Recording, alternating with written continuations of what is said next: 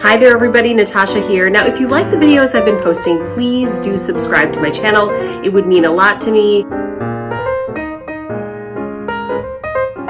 Please, please, please subscribe to my channel, please.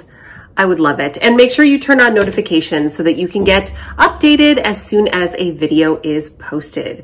All right, so today's video is all about uh, something I think uh, people might find interesting because I read a statistic that 98% of pregnant women choose to find out the actual sex of their baby. We decided not to. And here are some of the pros and cons to that decision. I am now 29 weeks pregnant. So in only seven weeks, because I do have a C-section scheduled, in seven weeks, I'm to find out whether we're having a little boy or a little girl.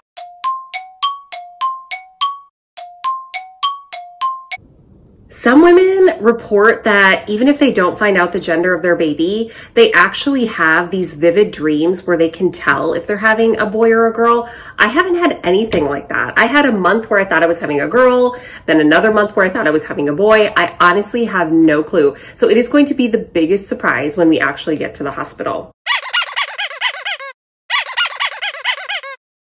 So the number one reason why I wanted to keep it a surprise, because let me tell you, my spouse didn't. He was like, let's find out. And he was just dying to find out.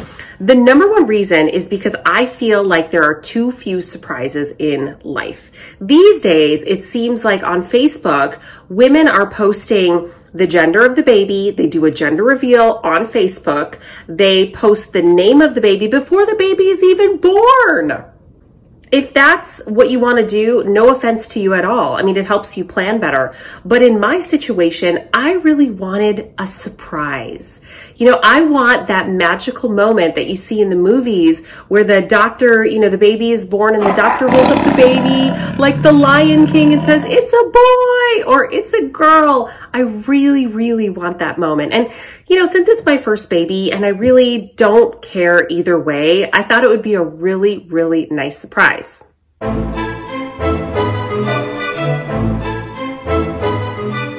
Now, this does not come without some challenges. First of all, I had to pick a name for a boy and pick a name for a girl because obviously I don't know which one's going to be born, so I have to have two names ready to go. Another really big challenge has been shopping. I mean, it's surprising how few gender neutral clothes are actually out there. Um, my mom and sister who have gone crazy just shopping for the baby, they are so excited. It's the first grandchild in the family. Um, they're having a really hard time. So my mom has basically purchased mostly white clothing because it's just really hard um, to find.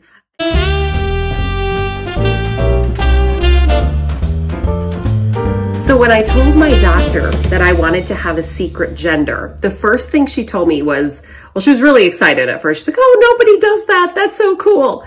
And then she said, you got to be really careful when you come for your appointments. So every time I, I go for my appointment, she actually says what you need to do is you need to tell whoever you see, and that goes from the receptionist to the nurse to the, the lady that does the sonogram, that you need to clearly say secret gender before they do anything because they're so used to actually revealing the gender and just talking about the baby in a he or she context that you need to make sure you say it every time. So that's added an extra level of kind of, you know, fear like, oh no, please don't tell me the gender. So every time I go, I have to say secret gender.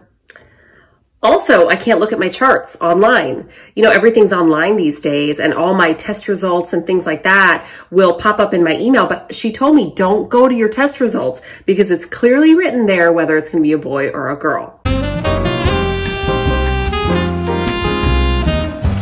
To be honest, most of my friends think I'm completely crazy and a lot of them think I'm actually, that I know the gender and I'm just not telling them. That I can 100% tell you that is not the truth at all. We have no idea and we're going to be surprised in seven weeks. I really can't wait. But hopefully this video, you know, made it a little easier for you if you're actually thinking about possibly having a secret gender, in my mind, it's going to be completely worth it. I cannot wait for that moment of surprise. And again, in life these days, I feel like there's so few surprises that if you can leave the gender of your baby a surprise and you have the willpower to do it for nine months, I say hats off to you.